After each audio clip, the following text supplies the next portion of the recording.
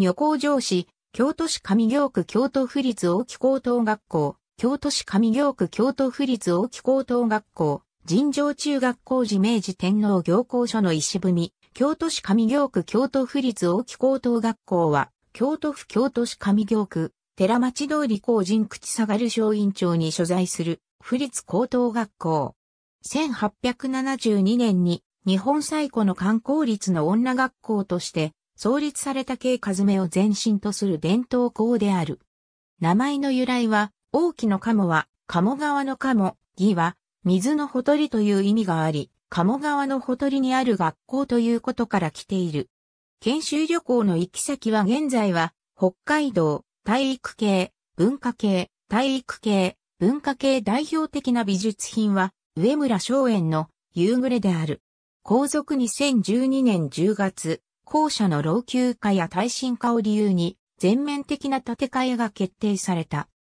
これに対し、卒業生を中心とした大木高校の校舎を考える会が、耐震強度不足はごく一部で、全面解体の必要はないとして、校舎解体の反対運動を行っている一方、京都府立大木高校同窓会が全面改築による校舎整備を求めている。大木高校の校舎を考える会は、専門家による校舎耐震診断の検証として、解体しなくても補強改修で十分耐震化可能と主張している。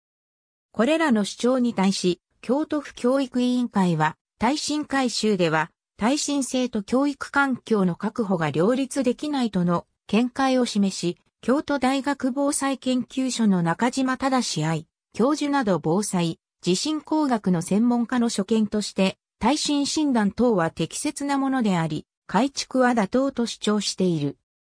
2012年6月に、京都府立大学の大場治教授らが、京都府教育委員会の依頼で調査を行い、木造校舎ともども、昭和戦前期に建てられた鉄筋コンクリート造りの校舎建築群についても、その全体が保全されることが望まれる。とした上で、建て替えを前提とした部分的保存の考え方を報告している。新聞報道では、教育委員会の会合や府議会に報告されておらず、手続き面での問題があるとしている。京都府教育委員会は2015年12月に改築工事中の敷地内から環境基準を上回るヒ素を検出したと発表。土壌入れ替えなどの対策が必要となるため、完成時期は当初予定した2016年8月末から約1年半伸び、2018年に完成した。ありがとうございます。